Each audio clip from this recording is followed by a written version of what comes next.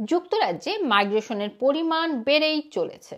বিদায়ী কনজারভেটিভ পার্টির সাবেক মাইগ্রেশন মিনিস্টার রবার্ট জেনরিক নতুন একটি প্রস্তাব দিয়েছেন। এই প্রস্তাব অনুযায়ী অবৈধভাবে আসা অভিবাসীদের ফেরত পাঠানোর সংখ্যা পাঁচ গুণ পর্যন্ত বৃদ্ধি করা সম্ভব।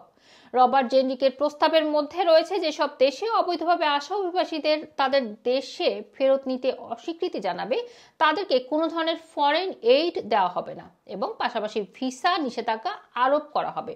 এছাড়া মিস্টার জেনজি ভিয়েতনাম, তুরস্ক এবং ব্রাজিলের মতো দেশগুলোকে সেফ কান্ট্রির তালিকা রাখার প্রস্তাব দিয়েছে।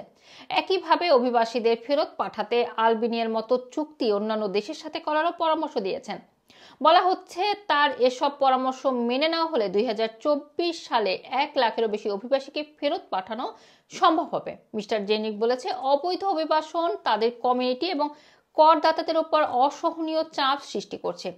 এই দেশে অবৈধভাবে আসা অভিবাসীর সংখ্যা গত বিশ বছরে ব্যাপকভাবে বৃদ্ধি পেলেও ফেরত পাঠানো মানুষের সংখ্যা অনেক কম। তিনি আরও বলেন, মাইগ্রেশন মিনিস্টার হিসেবে তিনি ফেরত পাঠানো বা নির্বাসনে পাঠানোর সংখ্যা পঞ্চাশ শতাংশ বাড়িয়ে দিয়েছেন। কিন্তু সেই ব্যবস্থা ভেঙে গেছে। এখন তাদের মৌলিক পরিবর্তন দরকার। যদি কেউ নিরাপদ দেশ থেকে অবৈধভাবে আসে, তাকে অবিলম্বে সেই দেশে ফেরত পাঠানোর ব্যবস্থা থাকা উচিত। সরকারকে এই সরকারকে অবশ্যই এই বিষয়গুলো বিবেচনা করা সহ অতি দ্রুত অবৈধ অভিবাসীদের ফেরত পাঠানোর উদ্যোগ নিতে হবে।